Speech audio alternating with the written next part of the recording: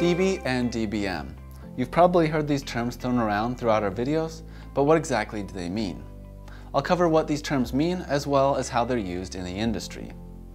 In a nutshell, you can think of dBm as the amount of power an amplifier or antenna is capable of producing, or how much signal is at a site. While dB is a relative number of the amount of increase or decrease in signal. dBm is an absolute measure of signal strength. It is an abbreviation for decibel milliwatts and is calculated as 10 times the log of the signal strength in milliwatts.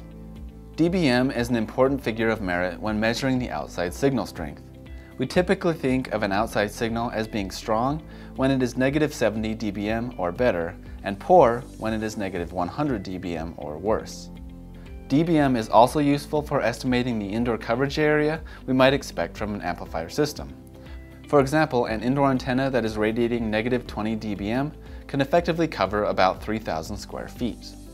dB, on the other hand, is a relative figure and is simply an abbreviation for the word decibel.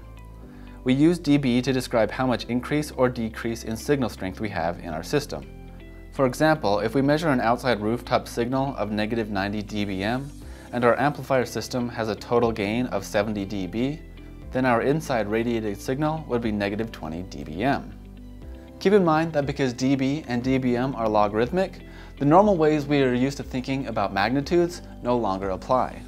For example, a negative 30 dBm signal is twice as powerful as a negative 33 dBm signal, and a negative 84 dBm signal is four times as powerful as a negative 90 dBm signal.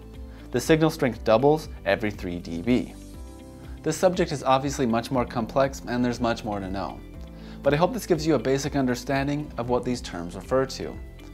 Understanding the difference in these terms will help you when it comes to installing cell phone signal amplifiers. If you've got any questions, feel free to contact us. And please subscribe to our channel for more videos like this every week.